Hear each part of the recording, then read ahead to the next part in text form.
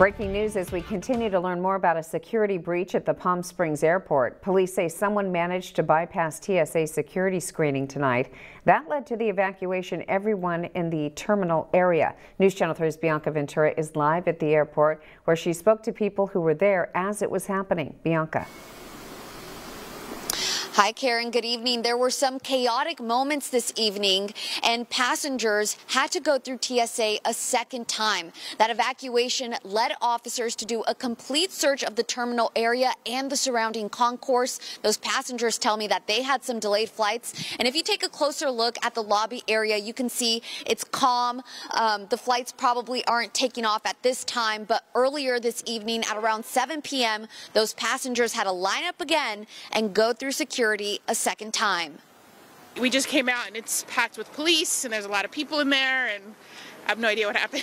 a pilot came to the head of the cabin and said, uh, we are evacuating the plane due to security reasons and uh, I thought he was joking. A security breach at Palm Springs International Airport caused for some confusion among passengers.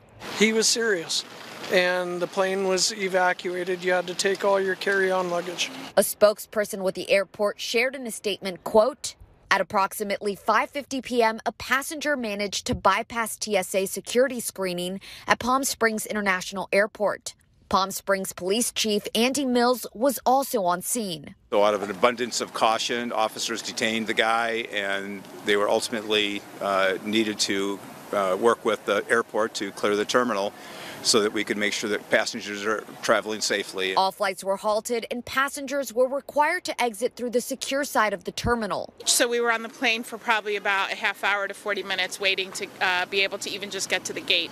Moments later, the suspect was taken into custody. Police then searched the concourses and all post security areas. I was uh, scheduled to go at 5:50 and then as it turns out maybe 11 o'clock, hopefully. Normal operations resumed about 40 minutes after the suspect had bypassed TSA. Then passengers were required to line up in the lobby area to complete a second security screening. Oh, but there was probably 1,200 passengers if there was five or six big planes. Everybody's safe and on their way. Small delay, but it's all good now.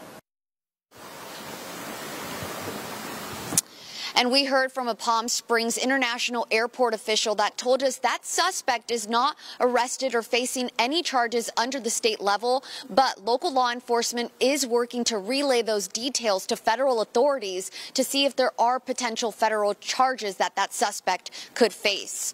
We'll make sure to keep you up to date with the very latest details. I'm live here in Palm Springs. Bianca Ventura, back to you.